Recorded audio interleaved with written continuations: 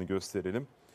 Fibrozist hastası oğlum var. Ekrem Bey soruyor. Siz e, alet, AST ve ALT değerleri ortalama 3,5 katına çıktı. Hocama ulaşamadım.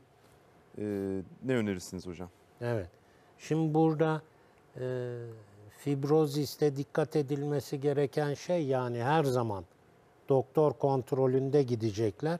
Lavanta çayı, lavanta çiçeğinin çayını bir tatlı kaşığı kaç yaşındaymış çocuğu? Yazmıyor hocam. Evet. Yani e, burada lavanta çayı karaciğerdeki o transaminaz enzimleri ALT, AST, GGT işte bunları e, kontrol altında tutmak, düşürmek için çok güçlü bir yardımcıdır lavanta çiçeğinin çayı. Evet. Onu uygulayacaklar. Günde bir defa akşamları yatmadan.